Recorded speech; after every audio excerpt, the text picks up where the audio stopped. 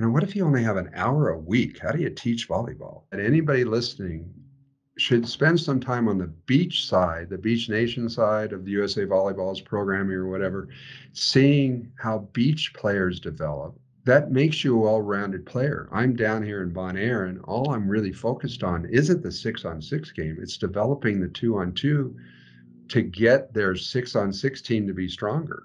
you know, that's how you get better faster. You know, it, here's three names that we know Karch, I don't think he started playing six on six until he was about 14. He played doubles. Misty, she played doubles with her dad, and she probably started playing at 12 or 13, but she'd been playing doubles since she was eight.